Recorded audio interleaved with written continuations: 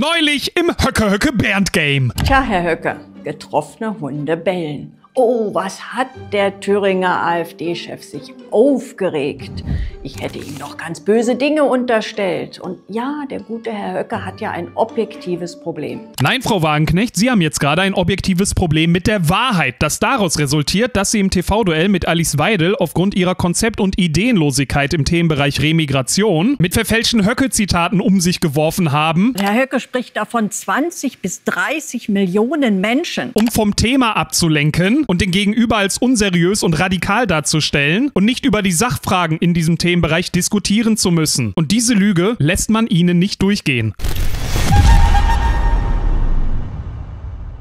Hallo Freunde und herzlich willkommen zu Clownis Sarah Wagenknecht möchte sich ihre Lügen einfach nicht eingestehen Welt. Da wird mir übel. Ja, meine lieben Freunde, wir beschäftigen uns heute mit dem neuesten Output von Sarah Wagenknecht namens Getroffene Hunde bellen, Herr Höcke, veröffentlicht am 20.10.2024 hier auf YouTube. Schon am gestrigen Tag war relativ klar, dass selbst der Community von Wagenknecht selber dieses Video hier nicht besonders gefällt, was unter anderem daran liegt, dass sie sich eine zentrale Lüge, die Teil ihrer Argumentation im TV-Duell gegen Alice Weidel war, einfach nicht eingestehen möchte. Und obwohl sie selber die Primärquelle, die ihre Argumentation widerlegt, im Video einblendet, sich auf Teufel komm raus nicht eingestehen möchte, dass sie da einfach falsch liegt. Und da wird dann langsam aus einem aus Versehen ein Kalkül. Also, worum geht es eigentlich? Für alle, die die Geschichtsschreibung im Höcke-Wagenknecht-Beef nicht bis hierhin verfolgt haben, eine kleine Zusammenfassung. Es beginnt alles beim TV-Duell Weidel vs. Wagenknecht, Themenbereich Remigration. Ein Thema, bei dem Weidel als Mitglied der Partei, die diesen Begriff bedeutend zusammen mit ihrem politischen Vorfeld geprägt hat, punkten kann. Das BSW sieht Migration nicht als zentrale Programmatik. Das sei ihm auch zugestanden, jedoch folgt daraus, dass man in dieser Frage nicht wirklich gegen eine AfD-Frau auftrumpfen kann. Was geschieht also? Man macht am Anfang ein paar Zugeständnisse, muss aber dann ja trotzdem für sich werben. Und das sollte, so mutmaßlich war die Strategie in diesem Themenbereich, gelingen, indem man sich ausgedruckte und teils verfälschte Höcke-Zitate, wer weiß, vielleicht vom Volksverpetzer zusammengetragen, ausgedruckt auf sein Pult legt und die dann Stück für Stück abarbeitet, obwohl es weder um Höcke geht, noch um seine Zitate, sondern eigentlich um den Themenbereich Remigration. Das Ziel des Ganzen, den Gegenüber als unseriös, radikal und verfassungsfeindlich zu framen, sodass die Sympathie trotz Mangel an harten Migrationskonzepten beim BSW auf die Seite von Sarah Wagenknecht umschlägt. Und das hier ist das Hauptargument, um das es in diesem Beef geht. Wo von millionenfacher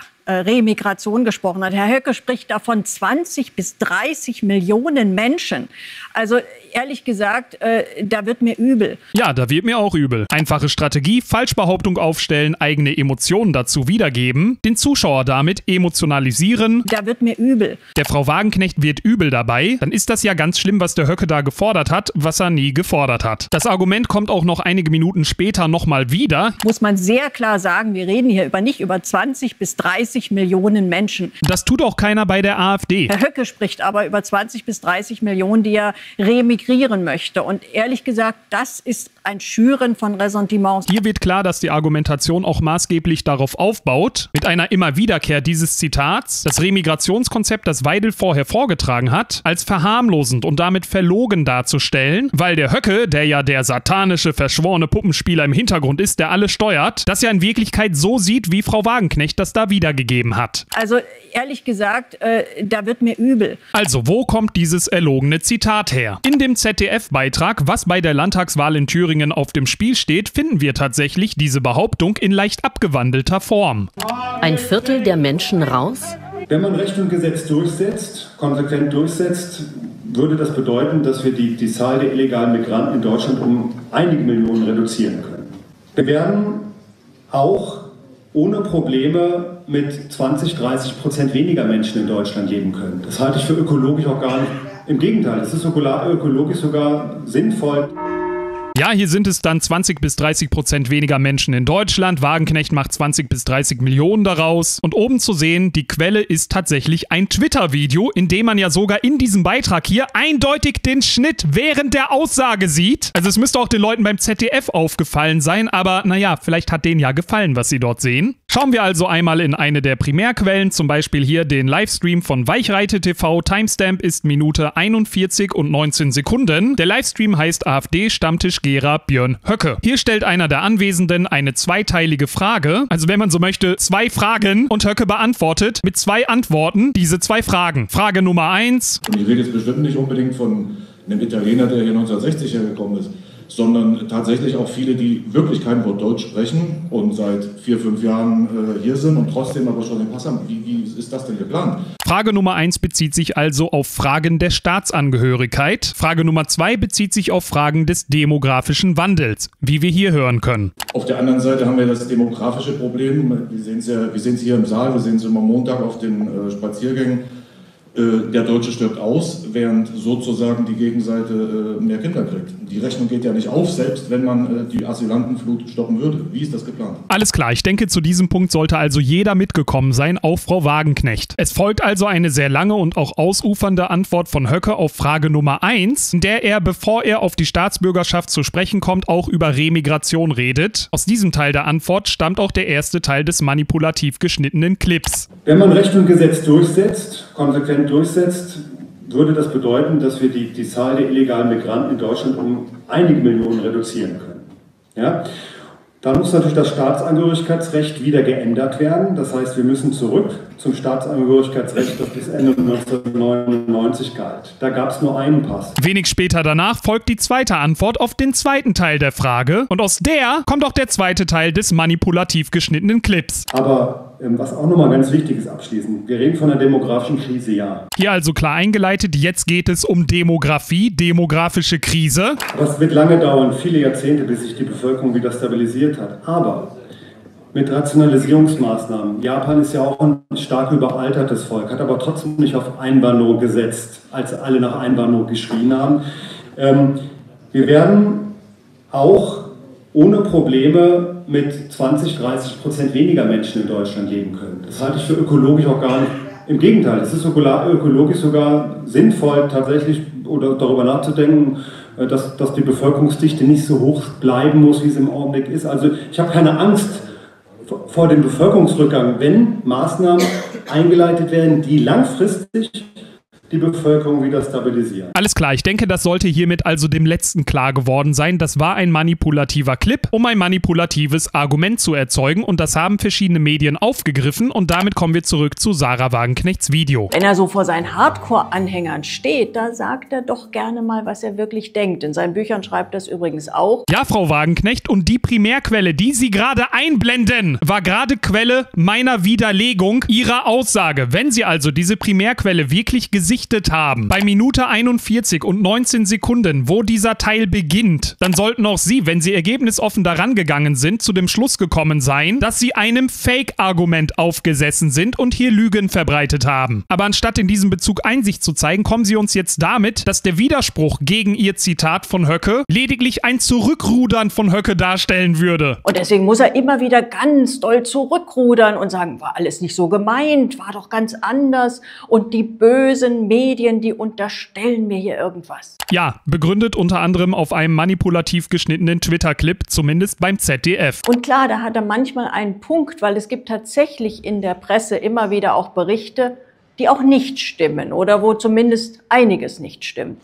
Ja, da sind wir uns einig. Wir sind einen Schritt davor, es einzusehen. Sehr gut. Auf einen solchen Bericht bin ich leider auch reingefallen. Merkt ihr Leute, wir sind haarscharf, haarscharf vor der Einsicht. Damit kommt sie dann zur Frankfurter Allgemeinen Zeitung, der sie dann diese Falschbehauptung unterstellt. Wir kommen also der Einsicht immer näher. Und in einem Artikel der FAZ stand im August, konnte man nachlesen, dass Höcke zum Thema Remigration gesagt habe, man werde in Deutschland, Zitat, ohne Probleme mit 20 bis 30 Millionen weniger Menschen leben können.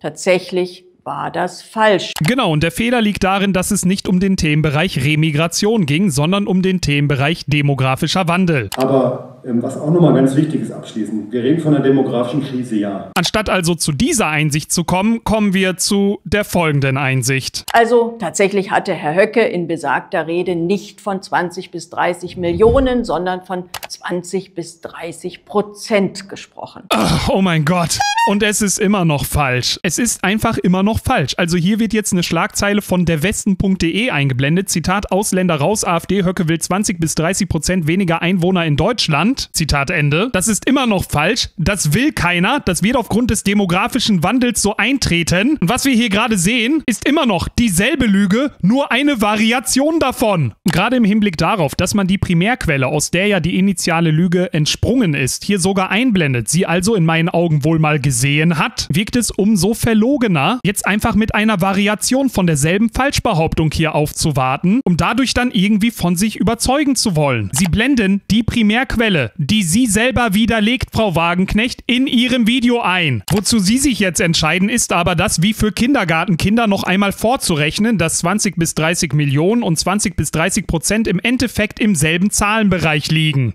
30 Prozent von rund 84 Millionen Einwohnern in Deutschland, das sind in der Tat nur 25 Millionen. Asche auf mein Haupt, bin dem falschen Zitat aufgesessen. Oh Leute, es ist so geil. Versteht ihr? Das war jetzt so ein Gotcha-Moment, weil ob 20 bis 30 Prozent oder 20 bis 30 Millionen, das ist so ungefähr dasselbe. Ja, danke für den Mathe-Nachhilfekurs. Der Kontext ist aber immer noch falsch und die Aussage damit eine Lüge, wie die in ihrem eigenen Video eingeblendete Primärquelle deutlich belegt. Und auch ohne Primärquelle hätte man doch mal, wenn man hier schon den Taschenrechner einblendet, zu der Realisierung kommen können, dass wir noch nicht mal genug Nicht-Deutsche in Deutschland haben, um diese erlogene Forderung zu erfüllen. Das sind nur 15 Millionen. Millionen. Woher kommen denn die restlichen 15 bis 20 Millionen, die Höcke abschieben möchte? Will der Höcke dann nach Augenfarbe vorgehen oder was ist da der Punkt? Also diese Forderung ist allein im Hinblick auf die Größenordnungen bereits vollkommen absurd und damit ja grundlegend noch nicht mal logisch nachvollziehbar. Wir halten also fest, wir bleiben bei der Lüge, entscheiden uns einfach für eine andere Variation der Lüge, belegen dann, dass diese Variation der Lüge aber gleichbedeutend mit der ursprünglichen Lüge wäre und werfen dann der Gegenseite vor, sie würde einfach nur zurückrudern und sich deswegen darüber künstlich künstlich aufregen. Nein, das war ja alles gar nicht so gemeint, sondern Herrn Höcke sei es ja in dieser Rede, die da zitiert wird, gar nicht um Remigration, sondern nur um den demografischen Wandel gegangen. Erstens, das war keine Rede, sondern eine Fragerunde an diesem Punkt. Und zum anderen, ja, es ging auch um Remigration, aber diese Aussage mit den 20 bis 30 Prozent hat was mit dem demografischen Wandel zu tun gehabt. Also um die Frage, dass Deutsche eben nicht so viel Kinder bekommen und deshalb die Bevölkerung schrumpft. So wie man es in der Primärquelle, die Sie in Ihrem eigenen Video hier einblenden, ab Minute 41,19 unschwer erkennen kann. Ja, ja, die Methode Höcke. Erst hetzen, was das Zeug hält, und dann war natürlich alles anders gemeint. Ja, ja, die Methode Wagenknecht. Erst hetzen, was das Zeug hält, dann der Lüge bezichtigt werden und dann sagen, dass man es trotzdem so meint. Und da das hier nicht die beste Argumentation aller Zeiten von ihr war, bricht im Folgenden zur Ablenkung danach wieder der Bernd aus ihr heraus und wir machen genau da weiter, wo wir aufgehört haben, mit irgendwelchen Höcke-Zitaten. Und mit dem groß angelegten Remigrationsprojekt, das Höcke 2018 in seinem Buch forderte, mit den wohltemperierten Grausamkeiten, die es braucht, um es durchzusetzen. Bla bla bla und wir fangen wieder an, einfach die Zitate um uns zu werfen. Bernd, Bernd, Bernd, Höcke, Bernd, Bernd, Bernd. Frau Wagenknecht, zum Thema wohltemperierte Grausamkeit empfehle ich Ihnen einfach den Artikel hier beim Deutschlandfunk. Das ist nämlich ein Zitat des Philosophen Peter Sloterdijk. Mit wohltemperierter Grausamkeit sind die Methoden von Australien, der Schweiz oder Kanada gemeint im Hinblick auf ihre Migrationspolitik. Nicht mehr und nicht weniger. Aber an dieser Stelle, die wir uns zum Ende noch anschauen müssen, wird es noch mal schlimmer. Sie hat diese Stelle, über die wir die ganze Zeit reden, eindeutig gesehen. Dass Herr Höcke kurz vor dieser Äußerung in seiner Rede, in derselben Rede davon sprach, die Zahl der illegalen Migranten in Deutschland um einige Millionen zu reduzieren. Es sind ja auch buchstäblich Millionen auf illegalem Wege nach Deutschland gekommen. Und, und das ist noch viel entscheidender, eine Änderung des Staatsangehörigkeitsrechts auch durchsetzen möchte. Ne, ne, ne, ne, ne, ne, Ablenkung. Wir reden jetzt nicht über das Staatsangehörigkeitsrecht. Da machen Sie ja noch direkt ein ganz anderes Thema auf. Sie haben gerade Folgendes gesagt. Dass Herr Höcke kurz vor dieser Äußerung in seiner Rede, in derselben Rede davon sprach, die Zahl der illegalen Migranten in Deutschland um einige Millionen zu reduzieren. Also erstens, es ist immer noch keine Rede, es war eine Frage, die er beantwortet hat. Eine zweiteilige Frage. Und zum anderen, Sie sagen kurz davor, was hat er denn noch kürzer davor gesagt? Genau, dass es hier jetzt um Demografie geht. So, und ich zeige Ihnen das jetzt sogar noch an meiner Timeline. Hier kommt die Aussage, von der Sie gesprochen haben. Wenn man Recht und Gesetz durchsetzt, konsequent durchsetzt, würde das bedeuten, dass wir die, die Zahl der illegalen Migranten in Deutschland um einige Millionen reduzieren können. Ja? Alles klar, das war also die Aussage, die Sie ihm gerade zum Vorwurf machen. Was ist denn mit der Aussage, wo er den neuen Themenbereich einleitet? Sie kommt direkt danach! Aber ähm, was auch nochmal ganz wichtig ist abschließend, wir reden von einer demografischen Krise, ja. Man hat über Jahrzehnte lang zugelassen, dass... So, da wird's eingeleitet und dann kommen wir hier zu dem. Ähm, wir werden auch ohne Probleme mit 20, 30 Prozent weniger Menschen in Deutschland leben können. Okay, also die Einführung in den neuen Themenbereich Demografie findet kurz vor der Aussage statt und das, was Sie hier gerade rausgenommen haben, ist die Abmoderation von den längeren Ausführungen zum Themenbereich Remigration, die er vorher getroffen hat. Reicht das jetzt endlich mal? Was ist Ihre Strategie? Einfach immer weiter auf dieser Lüge rumzureiten in der Hoffnung, dass das dann irgendeiner von Ihren BSW-Fans anfängt zu glauben? Ihre Zuschauer glauben Ihnen nicht, das sieht man am Like-Dislike-Verhältnis. Die top-rated Comments unter Ihrem Video werfen Ihnen das vor, was ich Ihnen gerade vorwerfe. Von daher mein Appell an der Stelle, machen Sie bitte genauso weiter. Bitte genauso. Denn auf diese Art und Weise bemerkt wahrscheinlich der Letzte, mit welcher Couleur vom Politiker man es an dieser Stelle zu tun hat. In diesem Sinne, meine lieben Freunde, sich ein bisschen anzuschauen, wie sich der Beef zwischen Sarah Wagenknecht und Björn Höcke im Bernd-Game immer weiter entfaltet, schadet nie. Folgt mir sehr gerne auf Telegram, Link ist in der Videobeschreibung und PC.